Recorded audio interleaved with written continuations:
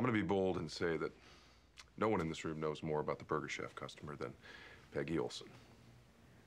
She has visited 20 restaurants in nine states, interviewed hundreds, and is obviously uniquely qualified to craft this modern campaign. Every great ad tells a story. Here to tell that story is Peggy Olson. Thank you, Don. That's a lot to live up to. Because I certainly can't tell a better story than the one we saw last night. I don't know what was more miraculous the technological achievement that put our species in a new perspective, or the fact that all of us were doing the same thing at the same time. Sitting in this room, we can still feel the pleasure of that connection because I realize now we were starved for it. We really were. And yes, we'll feel it again when they all return safely. And yes, the world will never be the same in some ways. But tonight, I'm going to go back to New York, and I'll go back to my apartment and find a 10 year old boy parked in front of my TV, eating dinner.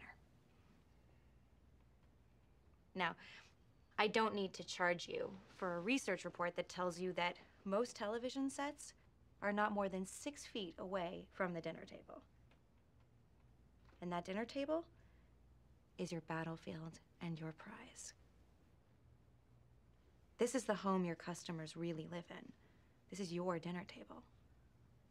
Dad likes Sinatra, son likes the Rolling Stones.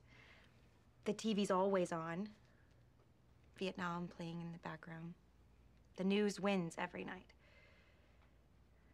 And you're starving. And not just for dinner.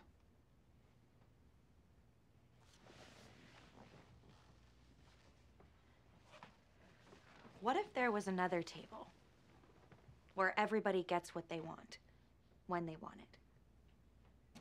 It's bright and clean, and there's no laundry, no telephone, and no TV.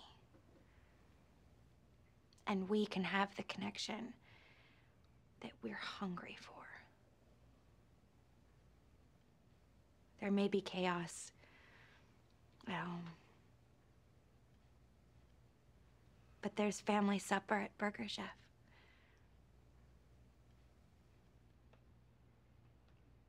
That's beautiful.